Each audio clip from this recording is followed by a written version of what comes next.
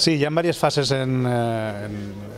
en, la, en el projecte, en el projecte de, per unes falles sostenibles. Hi ha una primera fase que són la realització de diversos estudis, un estudi social, un estudi medioambiental, tant d'emissions com el de no emissions, i un estudi econòmic. I eh, en aquests estudis el que se pretén és obtindre una diagnosi per a proposar un pla estratègic, un pla d'acció per a fer determinades actuacions per tal d'anar aconseguint un, unes falles més sostenibles, que a més serà un procés llarg, eh, en contínua avaluació, per a veure com, com avancem en aquest procés. Clar, efectivament, vull dir, les dades que necessitem eh, abasten un, un llarg camp de, de dades, no? des, de la, des de la prevenció del risc laboral del, de l'artista faller, que tenim, sí, estem en un taller magnífic,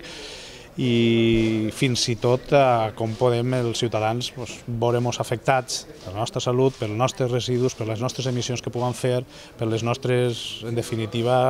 doncs, la manera d'interrelacionar-nos en el nostre entorn.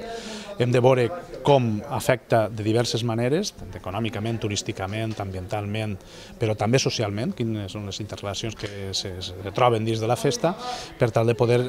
anar elaborant uns plans d'acció que ens puguen fer a tots pues, tindre una millor eh, vida, no? una millor sostenibilitat, que en definitiva és una millor vida per a tots. Sí, efectivament s'ha de fer contínuament una campanya de sensibilització, jo posava l'exemple que bueno, la Direcció General de Tràfic fa sempre campanyes de sensibilització i així com no,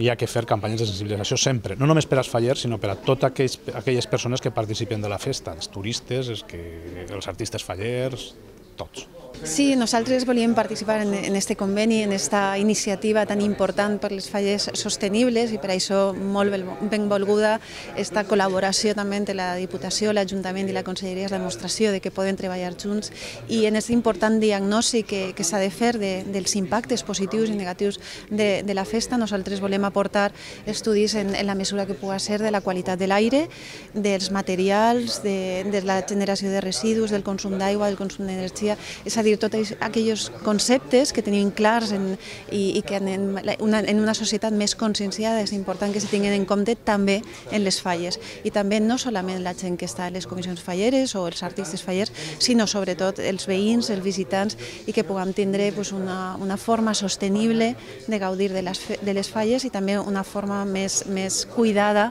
de, de gaudir de la nostra ciutat tots els dies, però també en les falles. Senyala alguna qüestió que que políticament i socialment jo crec que és important. És important que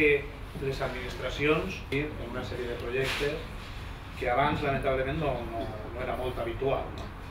i és vist també la importància de l'èxit dels projectes. Veure, veure com totes les administracions, els representants de, de la ciutadania, són capaços de posar-nos d'acord en un estupidesa, no? i per tant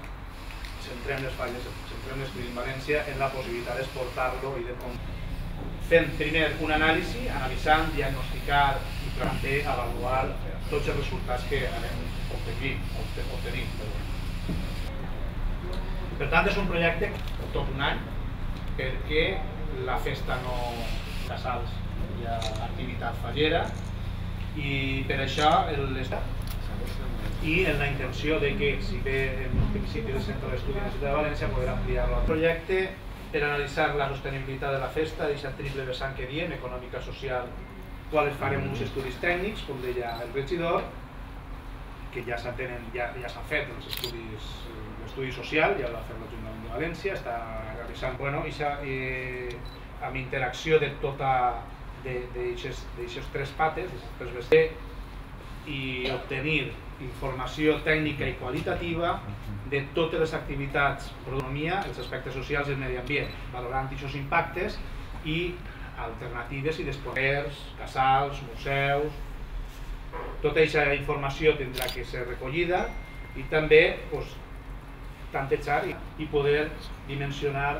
també aquests escenaris en l'aplicació i la... La porta del seu taller per suposat a, a l'Ajuntament, Pere, moltes gràcies i, i Josep Bord de la Diputació de València no, no, no, bueno, i, i felicitats per el.